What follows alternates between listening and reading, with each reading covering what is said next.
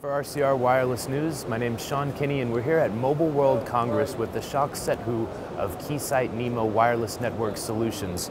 Ashok, you all made a number of exciting announcements during Mobile World Congress and yes. I was hoping you could just share some of those with us, please. Yes, so we've made two major announcements from this particular product line.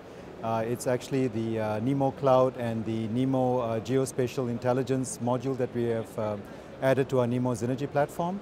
And today I'll be talking about the NEMO Xynergy uh, Geospatial Intelligence module that, that we have introduced. So with this new solution, can you tell us about who some of the customers that this is ideal fit for are?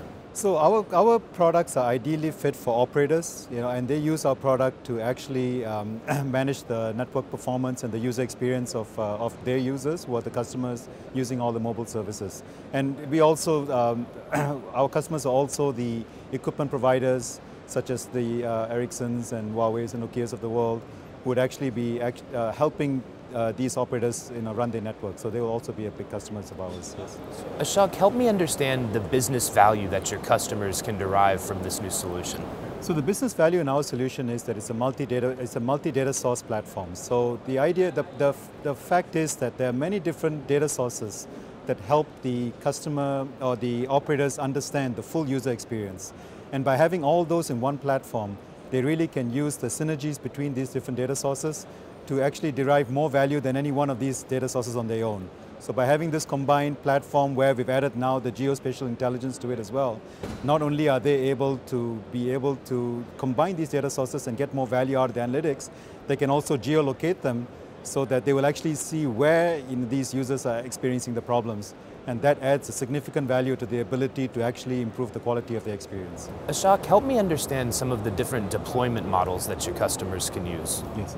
So this can be deployed in a number of ways. Uh, it can be deployed on site because these are enterprise systems, so they really uh, involve several servers that need to be deployed. They can be deployed on site if the customer chooses to do so. We also have a cloud offering where they can just get it as a software as a service.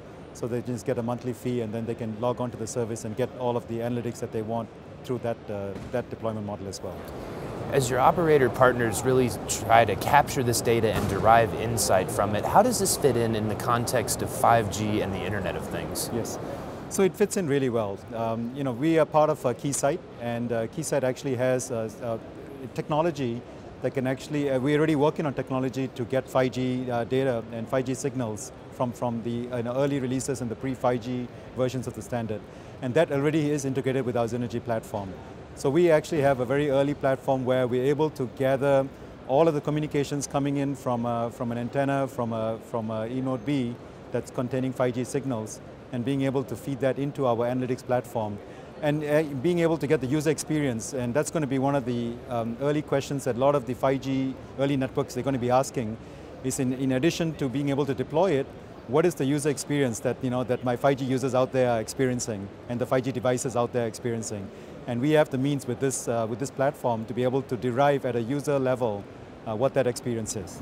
And I think this is a really salient point, Ashok, because we are aware of the target 5G use cases, and they're complicated. So yes. really tracking a, that user experience at a granular level will be challenging for your operator partners. It will be challenging, and it's uh, you know in the early um, the early systems that information is going to be hard to come by.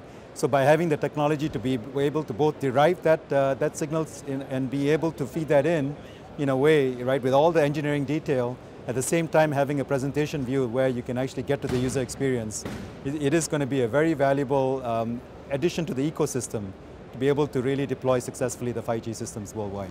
Well, Shak, I appreciate you taking the time during Mobile World Congress to share Keysight Nemo's perspective on this. Excellent. Thank you very much for the, for the time.